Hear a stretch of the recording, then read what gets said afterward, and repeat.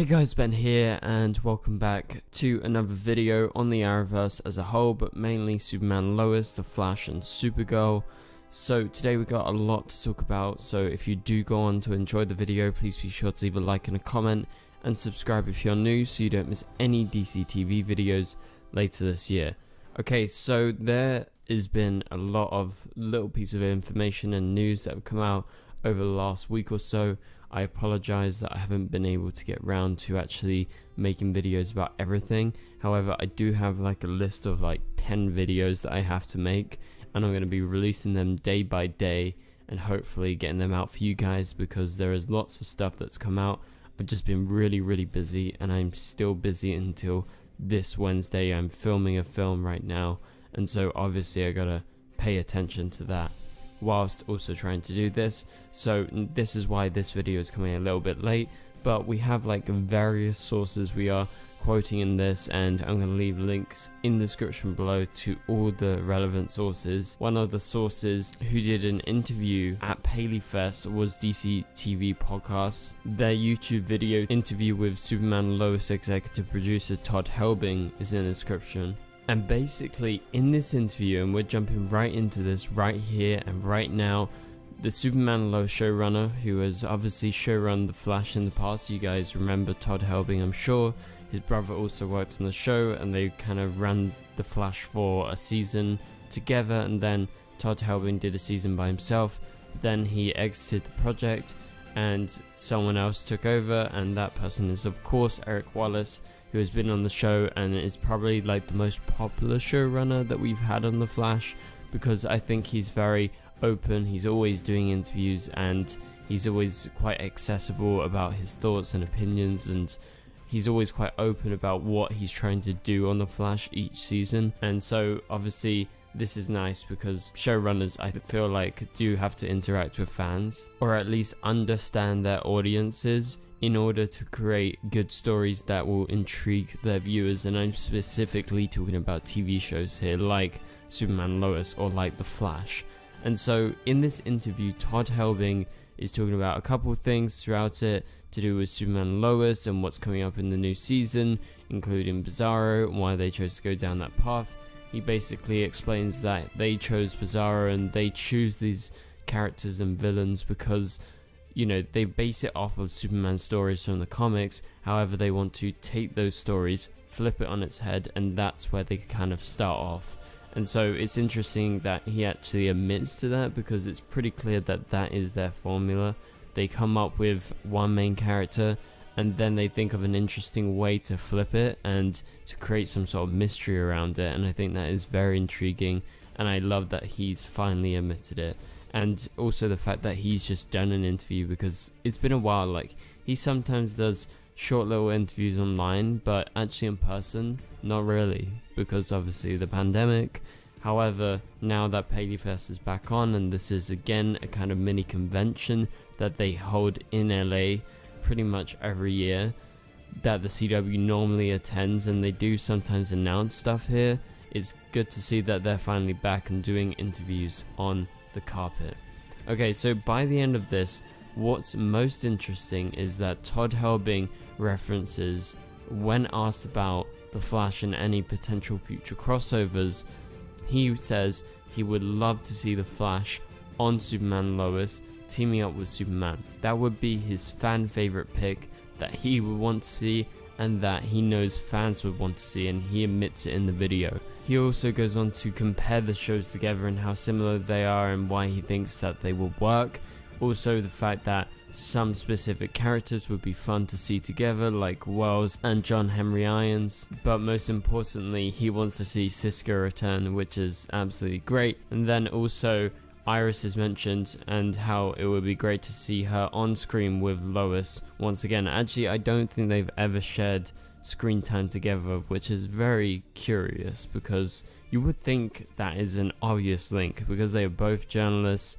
One of them can just go on assignment to the other city, and that's how they can get those two crossing over.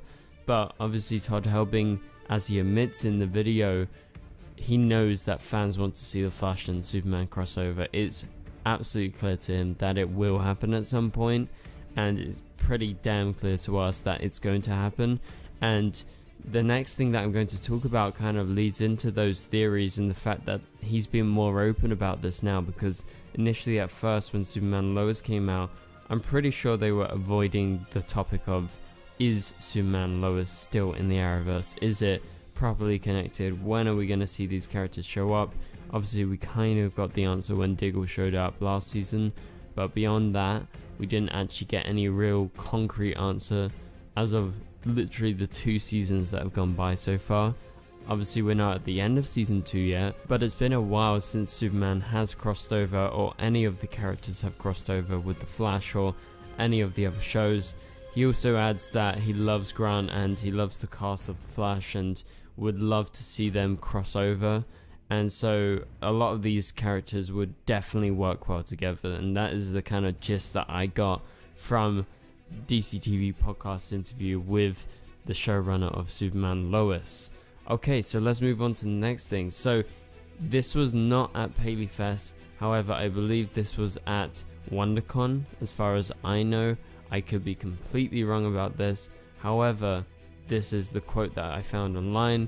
So apparently this is what Todd Helbing said on the other Arrowverse heroes. All I'll say is that I think everybody has this question why we don't bring up Supergirl or the Flash or any other heroes and I'll just say at the end of the season you guys will get the answer to the questions you have.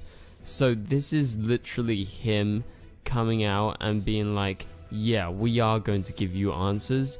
And don't worry, we've listened to what you've been saying all this time because now we are ready to kind of actually go back to those bigger or kind of smaller questions, but it's bigger in terms of the Arrowverse as a whole because you know the Arrowverse is this big connected universe. You need to have references every now and again to keep it all kind of flowing. And also there was another comment of someone actually at WonderCon and so this person, Daniel Alvarez, confirmed this as well that they will finally answer the Supergirl questions every fan keeps asking at the end of season 2.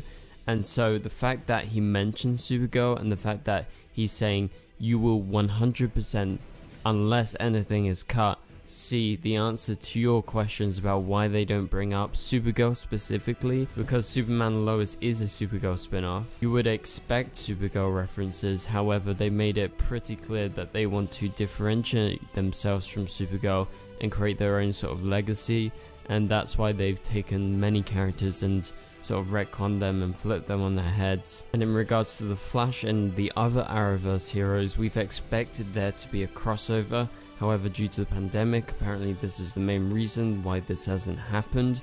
But also, I think Superman Lois wanted some space to establish themselves away from the other shows and actually be a show all to themselves and have an interesting story, get fans interested, and then bring back the Arrowverse. And I think that is exactly what Todd Helbing is planning to do at the end of this season. Now, what is going to happen at the end of the season? That is the big question that this comment by Todd Helbing raises are we going to see Supergirl? Are we going to see The Flash? Are we going to see other Arrowverse heroes show up in the Superman Lois Season 2 finale? Well, I think there is a possibility that we see like one person. However, I'm going to say it's probably less likely. It will be more likely that it's a verbal reference to what's been going on. I don't know if they're going to actually play into anything to do with Crisis. Is that going to be an explanation for the retcons and for the Supergirl changes and why maybe the Flash hasn't shown up because maybe Superman Lois is suddenly on another Earth or something like that? Because, you know, the kids are grown up post crisis. We'll be getting those answers at the end of the season, and it's just very reassuring to know that finally they're going to be talking about it because it's just been a big pet peeve of people's and including myself We've been waiting for this for a long time, and I think it's about time that we get some sort of answers and some sort of mini crossover between The Flash, Superman Lois, and Supergirl. And obviously, Supergirl isn't around, and there is a very slim chance that Supergirl shows up on Superman Lois ever because Melissa's pretty busy. She's prepping probably for her new project which was announced like a couple months ago or something. So this could be a mini crossover episode that could happen at the end of Superman Lois Season 2 in the finale. However, I'm going to say, like I said before, it's probably best to place your money on it being a verbal reference where the characters just suddenly bring up Supergirl or The Flash or whatever's been happening in the contemporary world of the Arrowverse rather than just keeping Superman Lois completely isolated like it's been as of right now. So, exciting times to be an Arrowverse fan. Also, they released a new Arrowverse crossover comic. They released the first issue of Earth Prime. I'm going to be reading it, I'm going to be reviewing it and breaking it down this week and talking about that mini crossover. And obviously, I'll break down issue 2 when it comes out. I was just busy when issue 1 came out, and I'm going to get to that video sometime this week. So stay tuned for all the videos. I got lots of videos planned, as I mentioned earlier. But for now, if you did enjoy it, please be sure to leave a like and a comment and subscribe. Turn on notifications if you're new to not miss any future videos. You can click on the top right corner of the screen to watch my latest video. But for now, I'll catch you guys later. Goodbye.